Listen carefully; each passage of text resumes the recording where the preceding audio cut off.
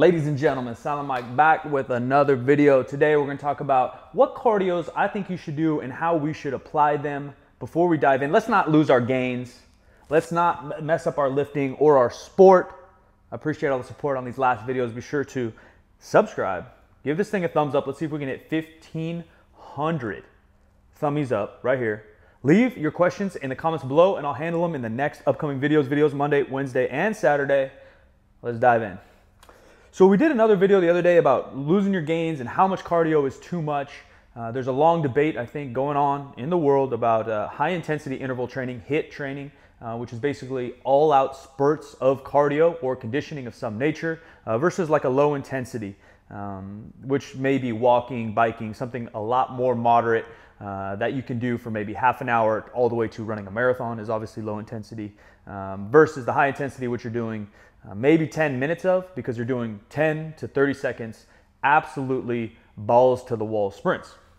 I think there's uh, something called EPOC, um, after effect of basically oxygen consumption after your exercise, after your cardio, and it was long believed that the high intensity interval training um, that you'll burn more calories in the 24 hour period because of that extra oxygen consumption because of how hard you worked uh, versus the low intensity. Uh, there is some uh, science, I believe, that says now that basically over 24 hours or 48 hours, it will kind of even out, um, given that you do the exact same amount of work, if that makes sense. Uh, and I think more importantly, we have to figure out what's best for you.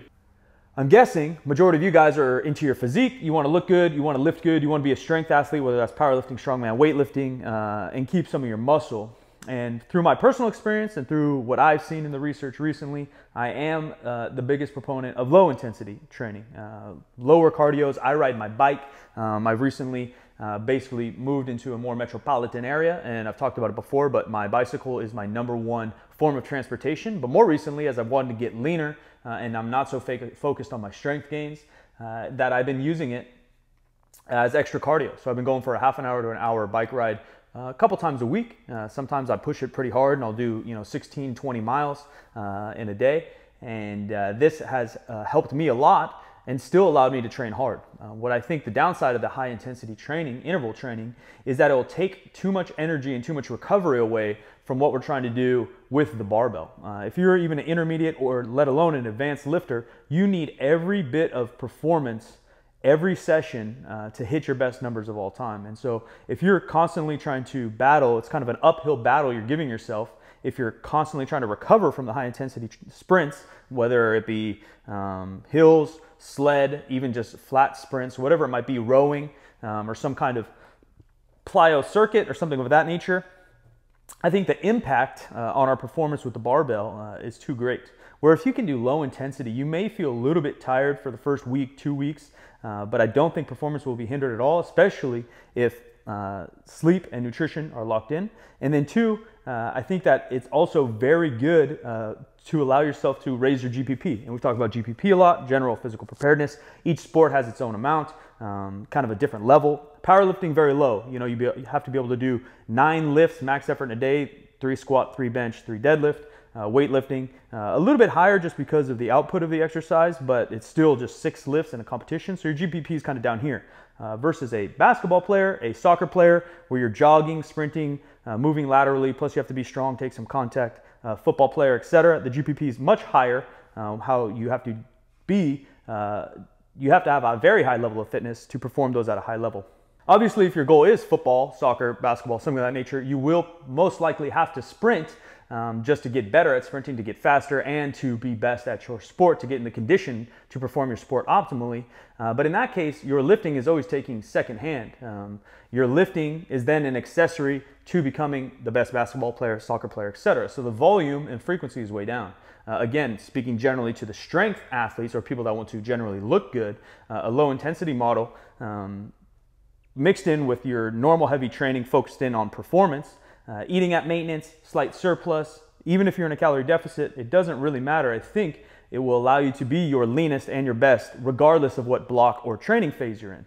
If you're in a bulk, uh, doing a little bit of extra cardio will allow you to eat even more, perform even better, and again, uh, hopefully not gain as much fat during that bulk. Hopefully focused in on the performance of lifting, you get more lean body mass. Uh, if you're at maintenance and maybe you're trying to kind of recomp or something like that, I think it's only done uh, with good amounts of cardio. Uh, again, on the diet side, if you're trying to cut, obviously cardio allows you to eat more while still losing weight if you track your calories uh, and slowly progress through your diet. Obviously, there's tons of other benefits to both cardios, um, heart health. Uh, I think mental health has been the greatest one for me. I'm throwing on audiobooks, podcasts, or even just uh, soaking in some music, getting a little bit of sun, and really riding out. Uh, it's almost a form of meditation where I see my mind starting to race and run uh, about life and stress and everything like that. And I'll try to trigger and focus myself back into the audiobook I'm listening, focus back into the music and the rhythm of my cycling and my pedaling. Uh, and I think I've never really gotten a runner's high. I don't think I've gone hard enough. I'm not much of an endurance guy. Um, but for me, it is a really good way to keep mentally focused through life, through everything I'm doing. Um, and I think a lot of people agree with that. So, high intensity interval training, necessary if you're trying to play a team sport, depending. Uh, obviously, if you're a football player, and things of that nature. Can it be mixed in with strength training? I think it can. Obviously, I'd do it in a separate session or at the end of my uh, lifting. But I think optimally uh, for us strength athletes, whether you're trying to get into a different weight class, cut weight classes, um, even bulking, gaining, whatever it might be, doing less amounts, obviously, uh, than you are when you're dieting, will still be best off for your physical and mental condition being that strength athlete. Again, I appreciate you guys. Hopefully, you figured something out. I'm enjoying cycling. Let me know your favorite cardio in the comments below. Appreciate you. Catch you in the next one.